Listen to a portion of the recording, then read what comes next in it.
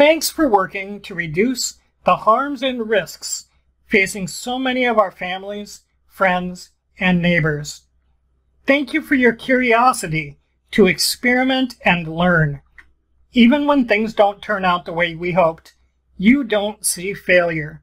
You simply seize another opportunity to learn, adjust, try again and again. That's persistence.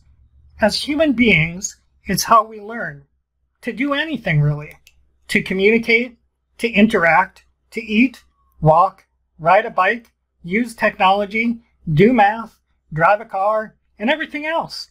That's persistence. You can help us improve health, safety, and dignity for all Minnesotans too. Stay informed, check out our YouTube content, subscribe to our email updates, and follow our social media.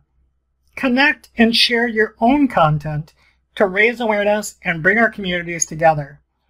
Connect, inform, encourage, and empower. Thank you.